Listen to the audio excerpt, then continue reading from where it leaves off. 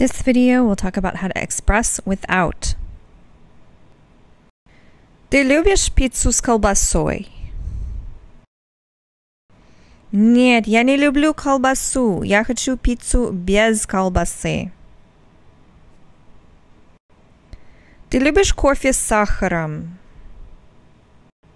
Нет, не люблю сахар. Хочу кофе без сахара. Ты любишь борщ со сметаной? Нет, я не хочу сметану. Я хочу борщ без сметаны. As we saw before, when we want to say with something, s plus instrumental, to say without something, без plus genitive. Reminder of your genitive endings here. These are nouns, masculine and neuter a, ya, feminine ui, i, plural, you could have of, yef, ye, or the zero ending. Попробуйте. Дайте мне, пожалуйста, воду без газа.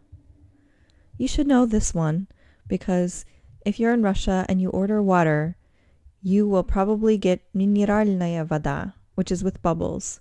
And so you need to know that if you want to get water without bubbles, you need to ask for воду без газа.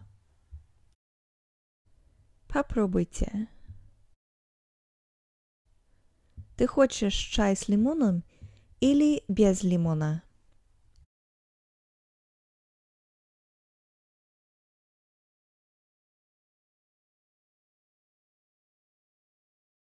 Ты хочешь сосиски с горчицей или без горчицы?